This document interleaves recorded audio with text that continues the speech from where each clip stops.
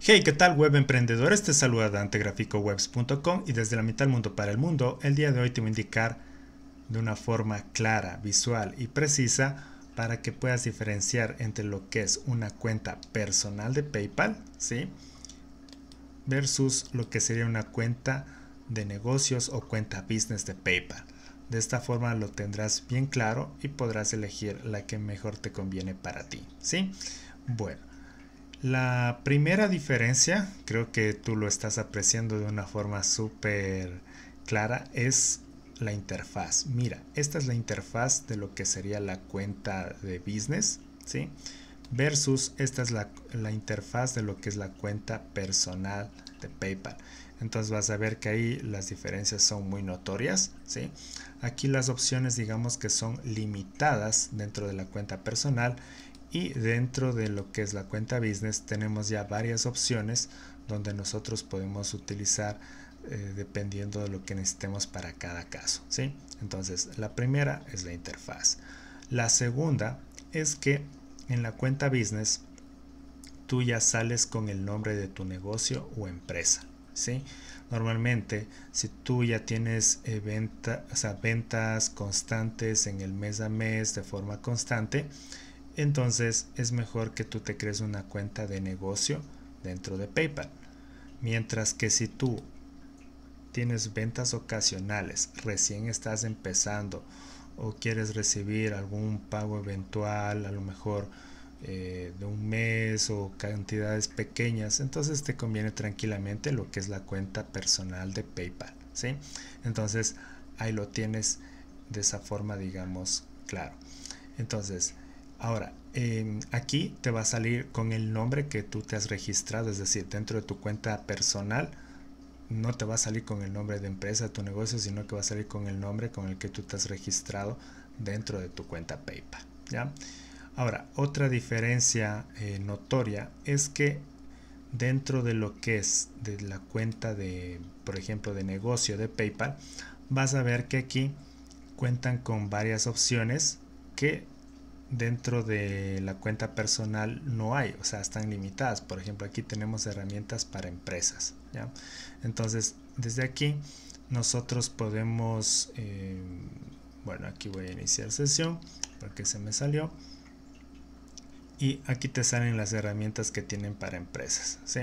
Entonces vas a ver que aquí desde desde acá podemos hacer pagos en serie, por ejemplo, para empleados. Sí, tenemos también opciones de suscripciones para recibir pagos recurrentes. ¿sí? Tenemos también la opción, eh, bueno, aquí dice de formatos de pago. Esta opción, por ejemplo, la tenemos también dentro de lo que es la cuenta personal. ¿sí? Tenemos aquí panel de pagos recurrentes, que eso está propiamente en la cuenta business. Y también credenciales API para conectar en este caso tu cuenta de PayPal de negocio con tu tienda online para recibir pagos con PayPal. Entonces mira, esas son ya las diferencias em, notorias que tú puedes ver. ¿De acuerdo? Ahora, si yo por ejemplo me regreso a lo que es a la cuenta personal, vas a ver que aquí tengo como quien dice lo básico de lo básico. Es decir, puedo realizar pagos, eh, solicitar pagos, crear un formato de pago, ¿sí? Y para de contar, el resto es prácticamente lo que tú estás viendo aquí en esta pantalla, no hay nada más. Aquí tienes los movimientos, que esto es ahí en las transacciones que se han realizado en el mes a mes, ¿sí? Y no hay más, ¿sí? Y mientras que dentro de lo que es en la cuenta business, como te acabo de mostrar, tienes estas opciones, pero algo también importante es que acá eh, tenemos enlaces directos y vas a ver que aquí tenemos la opción de paypal.me ¿sí? Esto es para crear links personalizados o sea tú solamente envías el link y con eso simplemente tú compartes ese link y desde ahí te pueden hacer el pago o sea, tú puedes eh, con esto recibir donaciones, pagos desde cualquier parte del mundo solamente enviando el link. Entonces la persona puede eh, colocar la cantidad que desea enviarte y listo. Y esta es otra diferencia que debes notar, es que cuando tú creas un link de paypal.me desde la cuenta de negocio, te va a salir paypal.me slash y el nombre de tu empresa. Mientras que si tú te creas desde la cuenta personal, que eso lo haces desde solicitar pagos, al momento que te creas aquí el perfil personal te va a salir paypal.me pero con el nombre tuyo, es decir, con el que te has registrado dentro de tu cuenta PayPal. Entonces esa es también una diferencia clave que eh, vale la pena considerar. Y entonces con esto tú también puedes eh, ver si es que dependiendo de la actividad de la que tú te vas a dedicar, si te conviene la personal o la business. Por ejemplo, si tú quieres colocar una tienda online, de ley debes tener una cuenta de negocio o de business de PayPal para que te pueda, eh, se pueda integrar que tú quieras recibir pagos con este link personalizado, entonces cuenta de business de PayPal, ¿sí? Que tú quieres recibir pagos por suscripciones o pagos recurrentes, entonces te conviene lo que es la cuenta business de PayPal, ¿ya?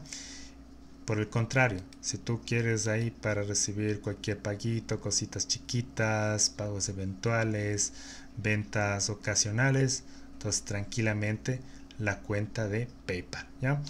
Algo que también puedes hacer es que puedes empezar con tu cuenta PayPal y si ves que realmente necesitas, es decir, tú puedes empezar con tu cuenta PayPal personal y si ves que ya te acostumbraste, ya viste cómo es el movimiento, entonces luego tú puedes hacer el traspaso tranquilamente de la personal hacia la business. ¿sí?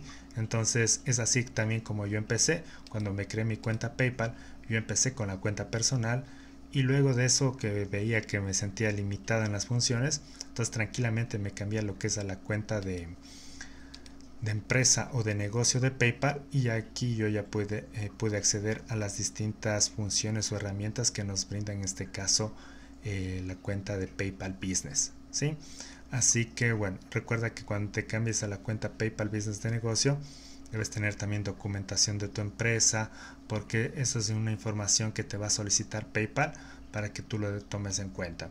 Si tú lo quieres mantener como quien dice así algo chiquito, ocasional, tranquilamente la cuenta personal te conviene. Así que bueno, espero que ahí lo tengas bien claro. Sí, espero que sí. Em, en este caso, a nivel de funciones, a nivel de interfaz, a nivel de nombre y de las herramientas, que te brindan la una y la otra. Creo que ahí está la diferencia súper clara. Así que si te gustó, házmelo saber en los comentarios.